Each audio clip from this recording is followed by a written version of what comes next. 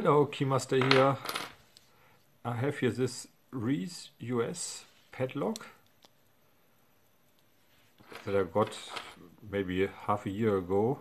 I featured it in the July locks video number four and I got two of them but I have sent one to Tobias and Julian and I kept this because I couldn't pick it back then. And today I looked in my drawer, in one of my drawers full of locks. I saw it and I and I thought I give it another try. It could, it shouldn't be too hard to pick this lock. And then I tried and couldn't do it, and then I figured out why. And this this is what I want to show you.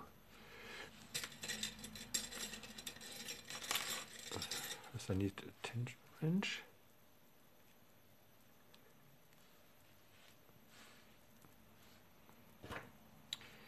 And I use a Sparrows Euro hook.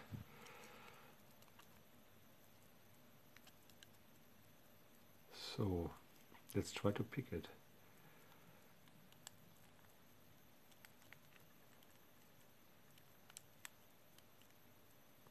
Yeah, there was a move on pin 4, 3,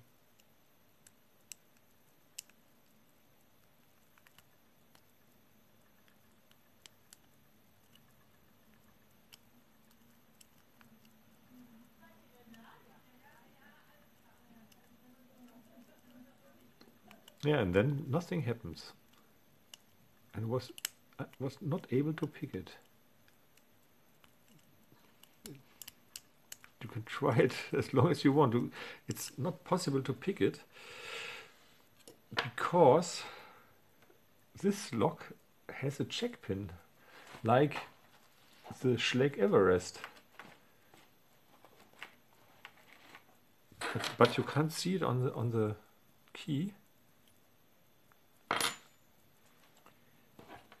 But when you uh, put it a pick here in the lock, at the bottom of the lock, you feel there is something blocking.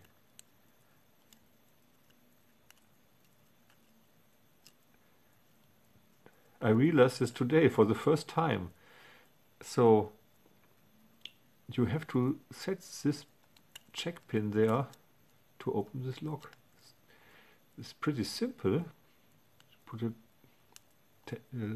pick into it and open. this was really a surprise for me. I'm not fami familiar with, with um, US locks. I'm more used to German padlocks like Abus and Burgwächter. So this was really surprised and I was really happy that I, I found this without searching the internet. yeah. So this was this Reese US padlock. Thank you for watching. Bye.